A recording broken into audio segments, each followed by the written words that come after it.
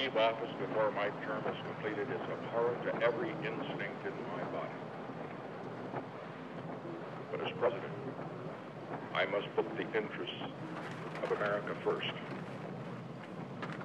America needs a full-time president and a full-time Congress, particularly at this time, the problems we face at Gosh, that's the third motorcyclist that's passed us. to continue Sure do take their lives in their hands, what with the weather and all. for my Yes, Janet, life's pretty cheap to that type. would almost totally absorb the time and attention of both the president and the Congress. In a period What's the matter, when our Bradley? entire world should be Hmm, we must have taken the wrong fork a few miles back. Oh, but then where did that motorcyclist come from? Therefore, Well, I guess we'll just have to turn back. to continue to fight through the months ahead for my personal What was the bang? It must have a blowout. absorb the time and attention Damn it. I knew I should have gotten that spare tire fixed.